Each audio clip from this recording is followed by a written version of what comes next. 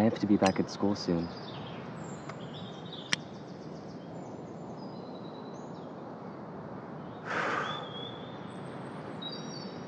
Want some?